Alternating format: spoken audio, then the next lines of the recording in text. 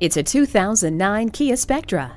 Standard features include power exterior mirrors, a tilt steering wheel, rear window defroster, overhead console, a CD audio system, and remote trunk release. So much for so little.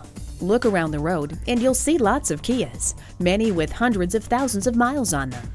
That's because Kias are known for durability, longevity, and a low cost of ownership. Test drive this Spectra today.